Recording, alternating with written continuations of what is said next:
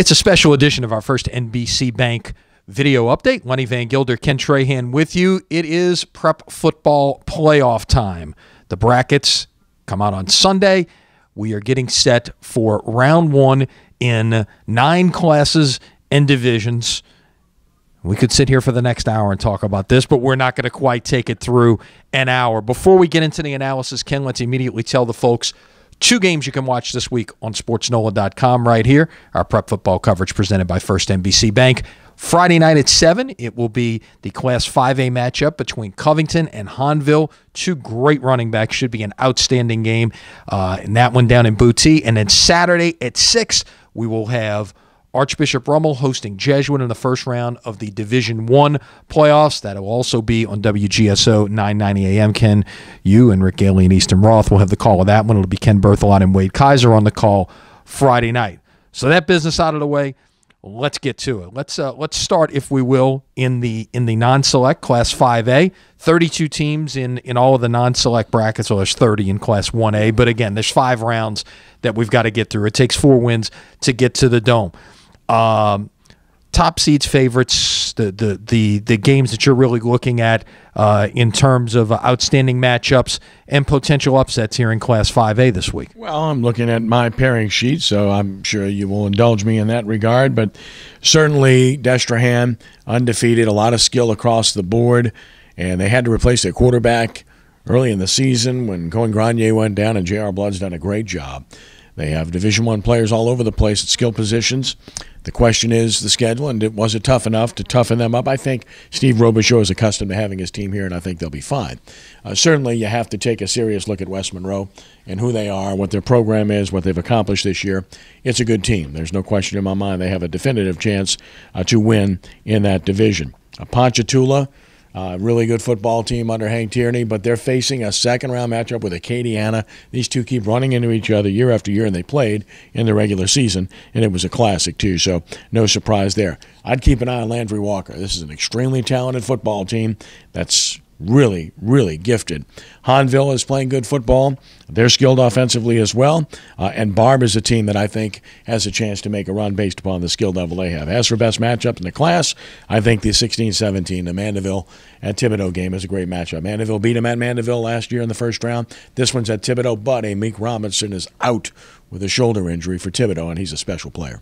It's interesting. We've got the the Covington Hahnville game. Covington beat Mandeville last week. Mm-hmm. Hahnville beat Thibodaux. Yeah. So that that's you know just one of those quirks, if you will, in the in in the schedule. What was interesting to me in looking at that bracket before we move on to 4A is the top quarter of the bracket is, with the exception of Haughton, who's playing Ehret, is all Southeast Louisiana teams. So unless Haughton pulls off three upsets, you're assured of one of those teams from Southeast Louisiana being on to the semifinals uh, in, in, in that in that portion of the bracket. Now in 4A, a lot of local interest, obviously, with the seasons that Karr McDonogh 35 have had. They potentially have a collision course in the semifinal. Of course, the number one seed there is Neville.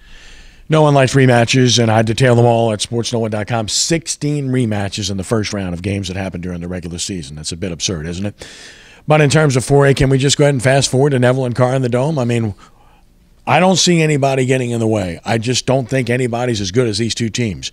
I am of the opinion right now that they're the two best teams in the state of Louisiana in any classification. And I think you saw evidence of that with the way Karr played against St. Paul's on the road against Brother Martin, against Landry Walker, and the way Neville handled Evangel in the battle on the border because Evangel is clearly one of the favorites in Division One. So I think they're the two best teams, and I fully expect they're going to be in the dome. Best matchup, I think the 19 seed Lagrange at the 14 seed North DeSoto is a great matchup, and upset special. Lagrange has been in very tough this year. They played a very difficult schedule, lost to Notre Dame and Evangel, so they've been in tough. So I like their chances on the road in that game. So we move on to 3A. The the local interest comes out of the river parishes with St. James Lutcher, and then of course you head, uh, you know, a, a, up I 55, and you've got Amite, who is always a contender there. Your thoughts on the 3A bracket? Well, I, I don't think there's a lot of surprises here. West Feliciana has earned their way there again to be the top seed. Uh, listen, they've been knocking on the door the last couple of years. It's a really good football team. They beat Parkview Baptist at Parkview Baptist, which really opened my eyes. Uh, that's a terrific win. In terms of the team that clearly could upset the apple cart. It's Amite. They are loaded athletically. I think they might be the most talented team in the class. You can't uh, discard Lutcher. It's a good football team with an outstanding quarterback. Uh, so certainly, I think Amite and Lutcher both have great chances to win the state championship in 3A. Uh, best matchup, I think the 22 Brusly at the 11 Berwick. I mean, that's an enticing matchup. Two teams that are, I think, evenly matched. Eric Holden's done a really good job in his first year at Berwick, and you know, Berwick only lost to Kaplan and a good Erath squad this year. And, of course, Brusly, they lost to the likes of West Feliciana, Parkview Baptist, and University High. So they've been in tough. This is a really good matchup. As we move on to Class 2A, uh, you know, this is this is one of those that's – getting a little bit of uh, criticism, if you will. There's a you know an 0 10 team in the bracket here, and part maybe maybe really the uh, the poster child, if you will, for what has happened in terms of uh, the split and the brackets and the you know just the fact that that everybody is just about involved uh, in, in this different playoff system. Well, I think the story in 2A is the fact that Madison Prep got declared a non-select school, so they're the two seed, and in my mind, I think they're the team to beat. I think Many is extremely well coached. Jess Curtis does a great job, and they're very good, and they're a legitimate Superdome team. I think it will end up being Many and Madison Prep. And Madison Prep, physically, I think, is the best team in the class. And a lot of people are wondering why are they in the non-select class? Well, that's the way they got classified, so they go where they tell them to go, and that's it. But you're right. There's a lot of bad teams in this bracket. There's a lot of bad teams in the 1A bracket, and you know I detail that at sportsnola.com. Uh, the playoffs are a sham in terms of the way it's structured. There's too many teams playing and teams that don't belong there, so you can read my piece on the website about that. Best matchup: the 18 seed Mangham at the 15 seed Red River. Uh, the Dragons are five and five, but they're a lot better than their record. Plus, they're accustomed to being deep into the playoffs each and every year. The problem is they've lost four straight games entering the playoffs. Now, it was against tough competition. Can they get their mojo back because of who they've played, because of where they've been? I think they're a very live underdog. And then we go to Class 1A, the, the one team in Southeast Louisiana, and I guess jumps off the page uh, would be Kentwood. Uh, can can somebody you know keep keep the Kangaroos from from getting to the dome where they've been so many times before? Well, Haynes, Haynesville's the number one seed, and they've deserved it. They're undefeated. It's a traditional power, and they're a really good football team. No question in my mind uh, that they should make it to the dome. Uh, Kentwood is a football team that lost to Southern Lab in convincing fashion in Week 10, but Southern Lab's elite. That's no shame in that. So certainly, I think they have a great chance uh, to get back to that level. And and again, when you're looking at 1A, I don't see anybody that can really uh, surprise you. I just don't see it. I mean, Arcadia is a good football team. Varnado's a good six and three team based upon who they've played this year. Uh, you know, so to me, I don't see any real surprises there. Uh, the best matchup I got a 21 and a 12. I got Delhi, even though they're 3 and 7 at Tensas. Now, keep in mind that Delhi is better than its record. They had to forfeit a couple of games. So the record's kind of deceiving, and therefore I think it's very, very possible. And, you know, they beat Tensas. It's a rematch game. They beat them earlier this year, 41 to 24. So that's a live underdog in the 21 there. Yeah, and, and, look, that's one of the things about this, and we've seen it before. We saw it happen with Acadiana, where they had to forfeit some games a few years ago, and it played to their advantage. Yeah, yeah, you, you're a lower seed, and you got to travel, but you're you got a chance to knock somebody off, and then maybe get a chance to play a home game in the second round against a good team. It, it's one of those things that if it doesn't knock you out completely, can play to your advantage. All right, now let's shift gears to the select side. Uh, four divisions uh, all working off a 16 team bracket. Although again, there are some buys in Division One and Division Two, and we'll start with Division One, where obviously there there's such significant local interest. John Curtis is the number one seed. Uh, a lot of those Catholic League schools right in the middle of the bracket, including, of course, that 8 9 matchup we mentioned it we'll have for you Saturday night at Sports NOLA. Well, Curtis earned it. They played a really tough schedule. Their pre district schedule was second to none, and they beat everybody they played. So they've earned this position, and they went through the Catholic League undefeated to win the title. Turnovers are still something they've got to be a little bit sharper in and not giving the ball away against really good opposition. That could be a problem, but I think they definitely have a chance to win it all this year. Their defense is elite, and I think the freshman quarterback, uh, Guggenheim, has played well enough to, to merit probably the lion's share of playing time. The, the two quarterback system certainly works there. You know, in terms of other teams that can win it, Catholic High has been my number one team in the state all year long because they're the defending champion, and nobody beat them. And they've got Clyde Edwards-Helaire and they've got Miles and they got Moffat. They've got good players and they're well coached and they've been there, done that. So to me, they've still got a great shot to win this. Evangel, unquestionably, uh, they lost to Allen, Texas, top three team in the country, and to Neville, and they've ripped off eight straight. And they've been dominant. Their defense may be the best in the class. Their quarterback, Conor Curry, is really good, so they have a shot. Other dark horse to me is Brother Martin. Their offense is really good. Uh, they're playing well at the right time, and they've been knocking on the door the last couple of years. And now those guys like Jordan Swilling and Swilling and you know, Singleton are seniors, so this is their opportunity. So I like them. I wouldn't sleep on St. Augustine. Purple Knights have a great quarterback. They're improved. They have confidence. They played a tough schedule, and they got over the hump against Rummel last week, so that's big for them too. So look, I mean, I see, and then last but not least, uh, St. Paul's. This is a team that I know the skeptics are out there because of what they've done in the playoffs, but this team I think is different than what they've had because they have an athlete, a quarterback to go along with a good running game and a very good defense. Bottom line is it's a deep class, and that's uh, it's going to be entertaining to watch as that the, plays itself out. The upset special would be Jesuit over Rummel. I mean, it's a rematch game for the third straight year, and they're evenly matched. And obviously, when you get that close and you know each other that well, the upset's quite possible. No doubt about it. We'll anticipate uh, looking at all of those games, five of them this week, and then of course you get into the quarterfinals the following week. As we go to Division Two.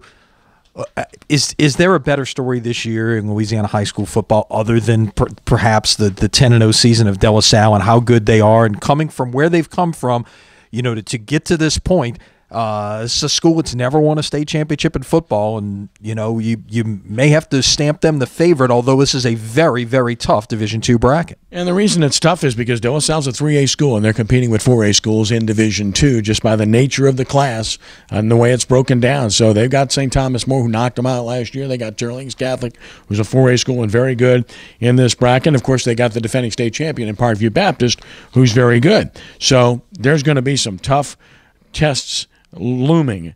Uh, University Lab cannot be dismissed with the schedule they've played.